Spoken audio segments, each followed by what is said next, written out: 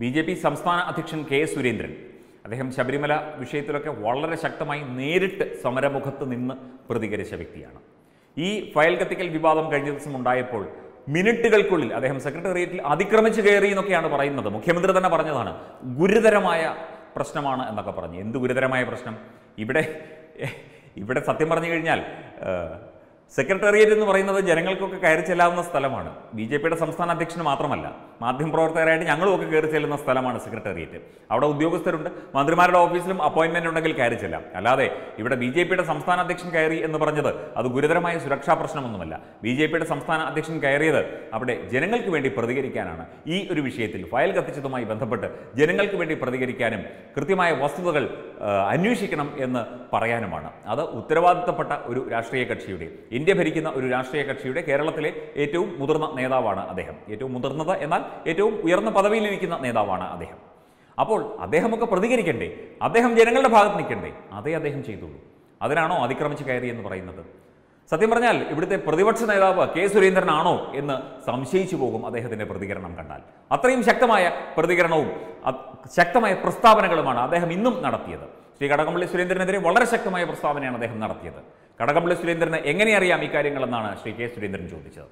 ശരിക്കും B J പിയെ നയിക്കാൻ കേരളത്തിലെ ബി ജെ പി കേരളത്തിലെ ബി ജെ പിയുടെ അണികളൊക്കെ തന്നെ പലപ്പോഴും പല വിഷയങ്ങളിലും ഒന്ന് പുറകിൽ നിൽക്കുന്നു. കാരണം കൃത്യമായ ഒരു നേതൃ സംവിധാനം കൃത്യമായി പ്രവർത്തിക്കുന്നില്ല എന്ന് വ്യാപകമായി പരാതി ഉണ്ടായിരുന്നു അത് നമ്മൾ വാർത്തകൾ ചെയ്തതാണ്. കാരണം ഒരു രാഷ്ട്രീയ കക്ഷി ഉത്തരവാദിത്തപ്പെട്ട രാഷ്ട്രീയ കക്ഷി എന്നുള്ള നിലയ്ക്ക് അതിന്റെ കേരളത്തിലെ ഘടകം എന്നുള്ള നിലയ്ക്ക് കുറച്ചുകൂടി ഒരു കൂട്ടായ്മയും കുറച്ചുകൂടി ഒരു ഏകോപനവും പാർട്ടി തലത്തിൽ വേണം എന്ന അഭിപ്രായമാണ് പൊതുവെ പ്രവർത്തകർക്ക് എല്ലാവർക്കും ഉള്ളത്. കാരണം കേരളത്തിൽ സീറ്റ് കിട്ടുന്നില്ല എന്ന പരാതിയും കണ്ണീരും മാത്രമല്ല വേണ്ടത്. അതിനുവേണ്ടിയുള്ള ഒരു ഏകോപനത്തോടു കൂടി പ്രവർത്തിക്കുന്ന ഒരു സംവിധാനമായി കേരള ബി ഘടകം മാറണം എന്നാണ് എല്ലാ പ്രവർത്തകരും ആഗ്രഹിക്കുന്നത്. ഇപ്പോൾ പ്രവർത്തകർക്ക് ഒരു കാര്യം മനസ്സിലായിട്ടുണ്ട്. ശക്തമായ ഒരു നേതൃ സംവിധാനമാണ് കേരളത്തിലുള്ളത്. കൃത്യമായി തന്നെ അവിടെ ഈ ഒരു വിഷയത്തിൽ മാത്രമല്ല പല വിഷയങ്ങളിലും ശബരിമല വിഷയത്തിലൊക്കെ നമ്മൾ കണ്ടതാണ്. അന്ന് അദ്ദേഹം സംസ്ഥാന അധ്യക്ഷനായിട്ടില്ല. എന്നിട്ട് കൂടി അദ്ദേഹം ആ ഒരു പ്രവർത്തന ശൈലി ശരിക്കും പറയേണ്ടത് പറയേണ്ടതുപോലെ തന്നെ പറയണം. രമേശ് ചെന്നിത്തല ഒന്ന് മാറി നിന്നെങ്കിൽ സത്യം പറഞ്ഞാൽ സ്കോർ ചെയ്തത് കെ സുരേന്ദ്രനാണ്. അതിനകത്ത് യാതൊരു സംശയവുമില്ല. അത് എതിർ കക്ഷിക്കാർ വരെ പറയും രാഷ്ട്രീയമായി എതിർപ്പുള്ളവർ വരെ പറയും കൃത്യമായി.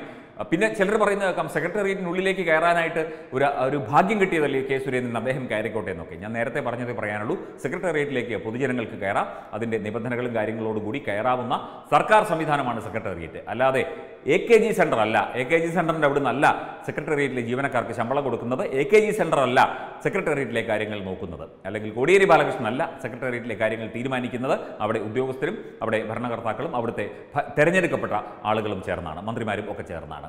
അത് സി പി എംകാർക്ക് മനസ്സിലാകാഞ്ഞിട്ടാണോ എന്നറിയില്ല.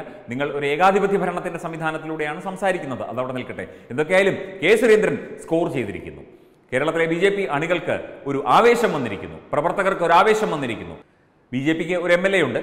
O Rajagopal Shri O Rajagopal. അദ്ദേഹം അദ്ദേഹത്തിന്റെ പ്രായമായി അദ്ദേഹത്തിന്റെ ആ ഒരു ആ സമയത്ത് ഓടി വന്ന് ചിലപ്പോൾ പ്രതികരിക്കാൻ അദ്ദേഹത്തിന് സാധിച്ചു എന്ന് വരില്ല. അതിന് പകരമായി ബി ജെ പിയുടെ സംസ്ഥാന അധ്യക്ഷനാണ് വളരെ ശക്തമായി ഈ ഫയൽ കത്തിയ വിഷയത്തിലും ഇതുമായി ബന്ധപ്പെട്ട സ്വർണക്കടത്ത് വിഷയത്തിലുമൊക്കെ നിരന്തരം പ്രതികരണങ്ങൾ അദ്ദേഹം നടത്തുന്നുണ്ട്. തുടക്കം മുതൽ തന്നെ സ്വർണക്കടത്ത് കേസൊക്കെ ആ ഉണ്ടായ ആ ഒരു കാലഘട്ടം മുതൽ തന്നെ ആ സമയം മുതൽ തന്നെ കൃത്യമായി പ്രതികരണങ്ങളും കൃത്യമായി കാര്യങ്ങൾ വിമർശിച്ചുകൊണ്ടും അദ്ദേഹം പത്രസമ്മേളനങ്ങൾ നടത്താറുണ്ട്.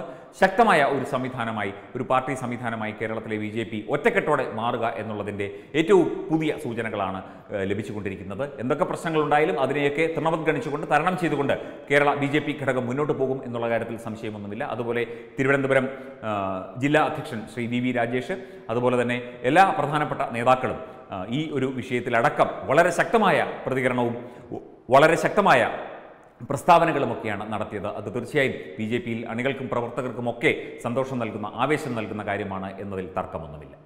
Web desk Tatwamayi news.